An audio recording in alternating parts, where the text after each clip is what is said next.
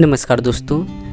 दोस्तों, कुछ सब्सक्राइबर की डिमांड की वजह से आज से हमने कॉरल ड्रो की एक नई सीरीज़ स्टार्ट कर दी है। इस सीरीज़ में हम कॉरल ड्रो की इंट्रोडक्शन से लेकर कॉरल ड्रो की ग्राफिक डिज़ाइनिंग से तक हम आपको ऐसी ऐसी चीज़ें बताएँगे जो आपके लिए हेल्पफुल हो सकती हैं। दोस्तों, आज के समय में ग्राफिक डिज़ाइनिंग काफ़ी डिमांड है और कॉरल ड्रो एक ऐसा सॉफ्टवेयर है, जो पूरी दुनिया में नंबर तीन पे आता है ग्राफिक डिज़ाइनिंग की उसमें ले लो आप लेवल पर। तो दोस्तों, जितने भी आप डिज़ाइनिंग देखते हैं, वो ज़्यादातर आपको 60 से 65 परसेंट कॉरल ड्रो के अंदर ही बनाए जाते हैं। जब कार्ड्स हुए, पेम्पलेट हुए, लोग हुए, इस तरह की डिज़ाइनिंग की बात आती है, चाहे इंडिया ले लो, चाहे अदर कंट्री ले लो, वहाँ पर कॉरल ड्रो बढ़ चढ़कर यूज़ किया जाता है। तो इसी बात को ध्यान में रखते हुए आज से हम सीरीज़ स्टार्ट करेंगे कॉरल ड्रो की जिसमें हम स्टेप बाय स्टेप आपको टूल्स उसके जो फ़ंक्शन है, उसके जो मेन्यू आ रहा है, सबको हम एक एक करके सीखेंगे। आप यदि कॉरल ड्रो अगर सीखना चाह रहे हैं तो इस सीरीज़ से जुड़िए, काफ़ी सीरीज़ अच्छी है, ये होने वाली है। और दोस्तों, ये कंटिन्यू रहेगी इस पर ब्रेक नहीं होने वाला, ठीक है? क्योंकि एक सीरीज़ आपके लिए हेल्पफुल साबित होती, हो सकती है क्योंकि इस कॉरल ड्रो सॉफ्टवेयर पर 100 परसेंट मार्केट में जॉब होती है।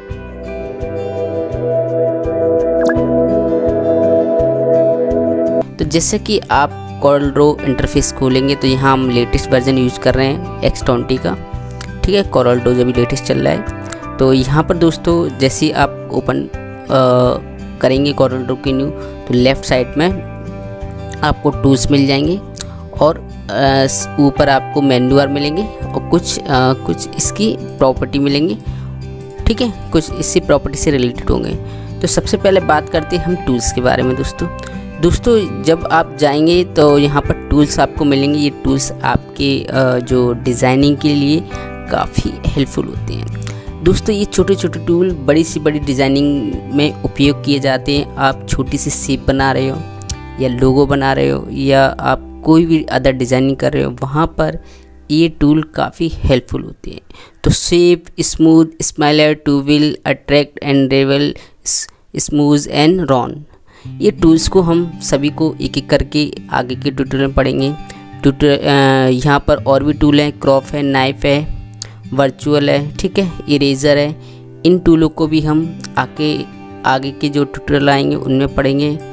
ठीक है, ये जूम है पेन है, ठीक है, और भी इसके अंदर टूल है फ्री हैंड है टू पॉइंट लाइन है बिजियर है पेन है वी स्प्लाइन है पॉलीगॉन है थ्री पॉइंट कर्व है।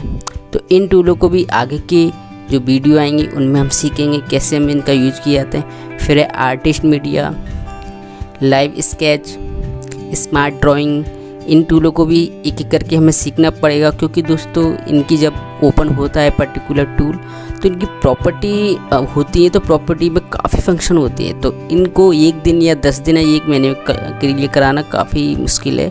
तो ये सीरीज़ काफ़ी लंबी भी हो सकती है, लेकिन इसमें जो कुछ सीखने मिलेगा, वो काफ़ी आपके लिए हेल्पफुल साबित रहेगा।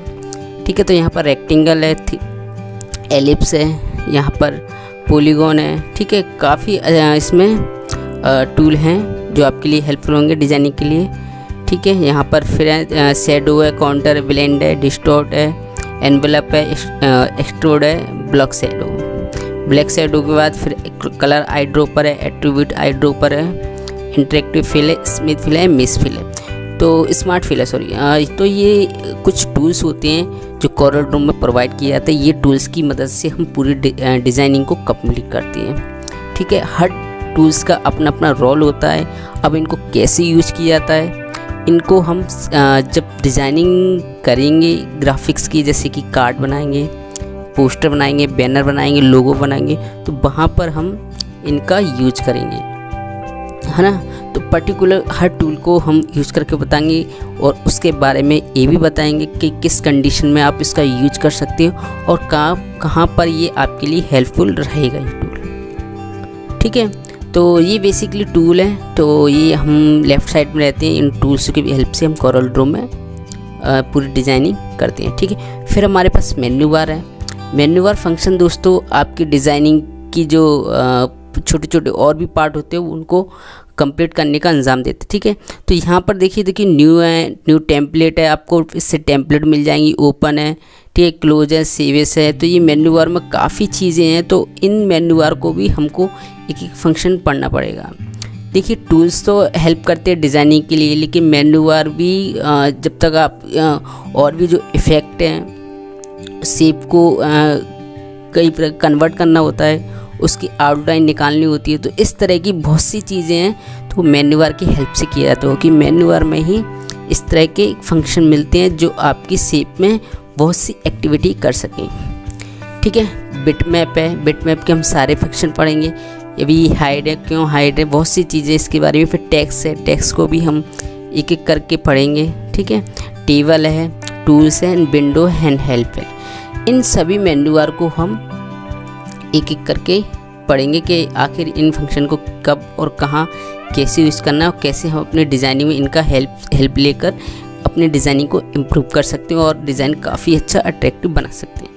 ठीक है तो यहाँ पर दोस्तों आपके पेजेस हैं आपके पेजेस कौन सा आपको लेना चाहिए कैसा रखना चाहिए इसके बारे में हम आपको डिटेल में बताएँगे।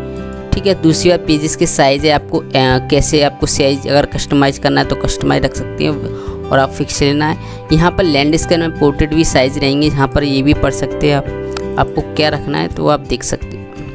फिर है दोस्तों यहाँ पर ऑल पेजेस हैं फिर है यहाँ पर यूनिट्स दोस्तों यूनिट्स ये होती है कि आप आ, कोई चीज़ फिट में बना रहे हो इंच में बना रहे हो सेंटीमीटर में बना रहे हो किसमें बना रहे हो तो यहाँ से हम पूरी चीज़ों को सिलेक्ट करते हैं। तो ये इंट्रोडक्शन के ये छोटे छोटे पार्ट है तो इनको भी जानना बहुत ज़रूरी है क्योंकि ये अगर हम ये इंट्रोडक्शन नहीं पढ़ेंगे तो हम आगे की चीज़ों को कैसे जानेंगे? कोई चीज़ हम ओपन करना नहीं जानेंगे तो उसको पूरा उस पर काम करना कैसे जानेंगे?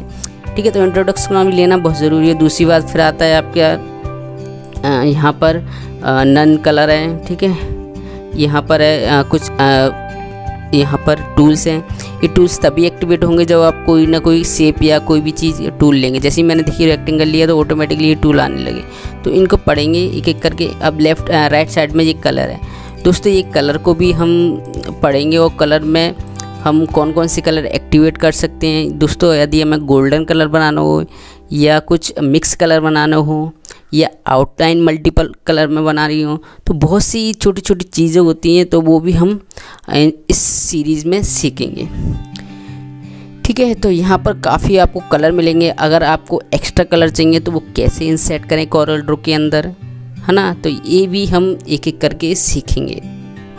ठीक है तो ये कुछ बेसिक इंट्रोडक्शन कॉरल ड्रो के अंदर। तो ये एक्स में आपको अभी आप डाउनलोड करोगे तो आपको इस तरह के फ़ंक्शन इंटरफेस मिलेगा न्यू का।